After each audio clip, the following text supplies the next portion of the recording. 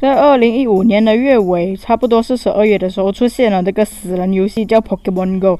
Pokemon Go 是有很多个呃，怎样讲呢？就是要你出门，你不出门就抓不到 Pokemon 的一个游戏来的。你出门了过后，你可以抓到很多 Pokemon，还可以跟其他的玩家玩。可是这个游戏是根据 GPS 来走的。然后，大家好，我是圆，我要关于讲到这个游戏是怎样去玩，怎样去分析，怎样去控制这个游戏。可是。我发现到最近呃，在外国就是美洲啊、英国啊那些才出这种游戏，在亚洲，比如马来西亚都没出现这个游戏。过后我看那个报道才知道，在外国才有，马来西亚要等到二十七号。你他妈在逗我！你应该在这玩这个游戏之前，那个应该跟我们讲的吗？为什么在这个时候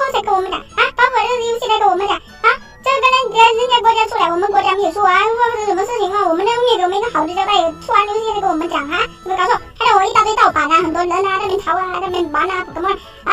你为什么这样子不负责任哈？但是你们以为我们有错我就玩不到游戏了吗？嘿嘿嘿，你们就错了。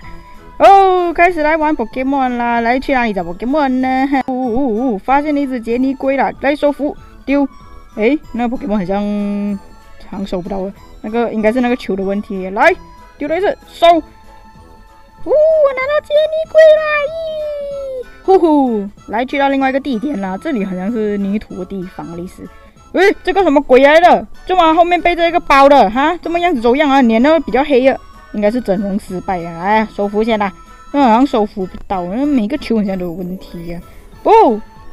哦，可以啊！哦，妙花包子。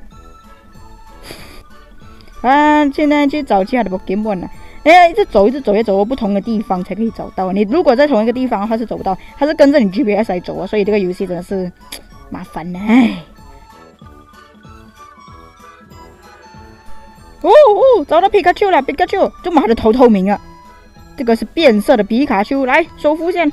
这么，这个好像比较难收服嘞。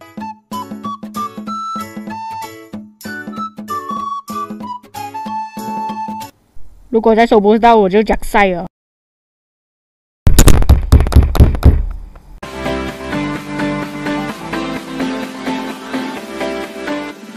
呜呼啊！哈哈，终于抓到比卡丘了！